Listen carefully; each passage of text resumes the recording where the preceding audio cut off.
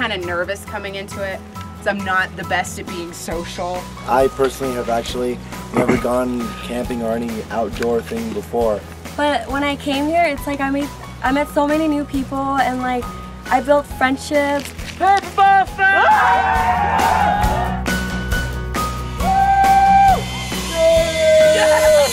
You guys are the start of something new. And hopefully this three days is something that will continue.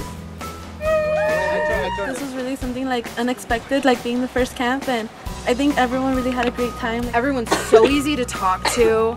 This was just a great way for us freshmen to get to know each other and like hang out beforehand. And as incoming freshmen, like we need a big support team and like people that are there for us.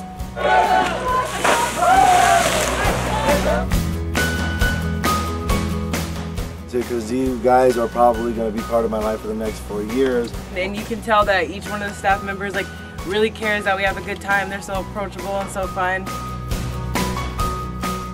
It's so great to be able to talk to you guys about getting into the campus life and getting involved because that's probably like probably the hardest thing is to get yourself fully immersed in that experience.